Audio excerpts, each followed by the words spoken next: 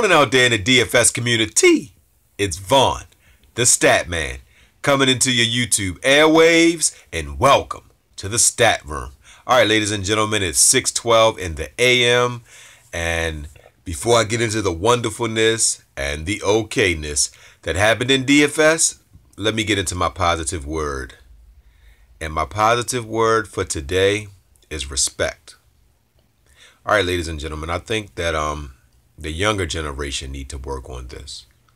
Um, I don't see a lot of respect when I'm walking outside, when I'm walking down the streets. Um, like when I'm in New York, when I'm on the trains, I cannot stand getting on the train and you're playing your music.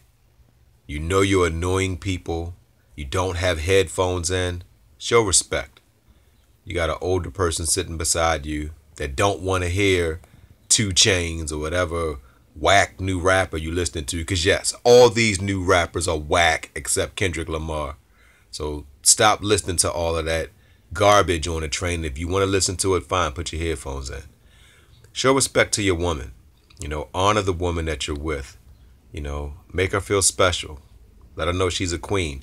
If you're dating somebody that you can't respect then then leave that person and find somebody you can respect. Women start respecting yourselves Men do not look at women that's half naked as wives. You keep posting half naked pictures on Facebook, posting all of your personal business on Facebook. You're not respecting your relationship. And that's why you keep ending up single. That's why girls keep stealing your men because you telling your girls everything you do with your man. So respect the man you with and respect the woman that you're with. All right? And respect yourselves, ladies and gentlemen. All right, so I'm going to leave it there with respect. All right, so let me get into my DFS. All right, so let me recap the four horsemen last night, guys. Um, Manaea, the pitcher from Oakland, gave us 43. That's phenomenal.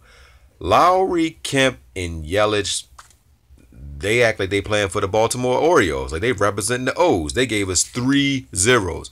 All three of these guys are in witness protection. They stole money. They didn't want to play. These guys, they owe us. They owe us one. But you know what they say about great players? They don't put up two stinkers back to back. All right, guys. So um, let me break down a few of the lineups that I had yesterday. All right, I'm gonna tell y'all um, whoever had lineup two, that was my best lineup. It came in at a 130.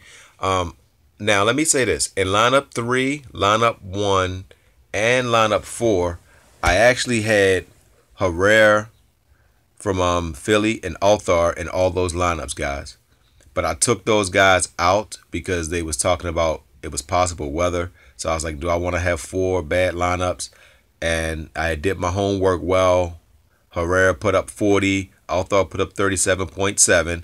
Because in lineup three, I didn't have Duvall in. I put him in last minute. I had Herrera in that spot.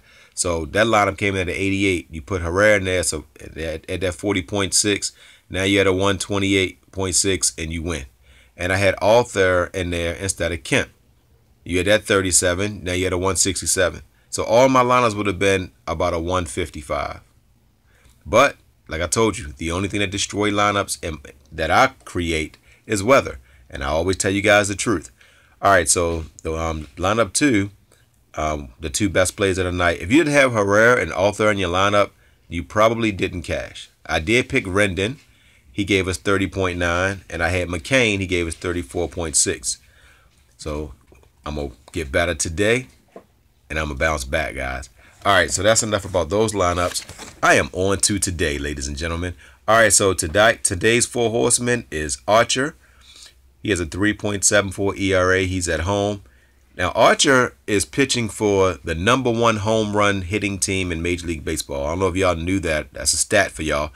Tampa Bay leads the leagues lead the majors in um, home runs, and he's going to get a lot of home run help today. So he's my pitcher.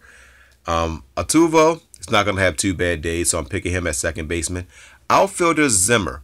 Now he plays for Cleveland. He's a left-hander. Everybody knows in Colorado that long ball is a reality out there. He'll pop one for us today. And I love Duda. Duda has a, a 269 ERA, and he's going up against a pitcher making his first major league pitch. I mean, his first major league start. That's not good going up against Duda. He's going to destroy this guy. All right, so that's that, guys, um, for my four horsemen. Now, let me just say this, guys. Um, I want to thank everybody who um, who subscribed to me and everybody that's watching this video. If you made it this far, hit the like button because I know you like what I did, and subscribe. I mean, I give y'all good knowledge. And a, and a guy asked me how do I feel about stacking players. Okay, this is how I feel about stacking players. Find the game that you absolutely love the best and stack those players and then, you know, do the rest of your lineups that way. I do like stacking players, but some nights stacking players is not a good thing.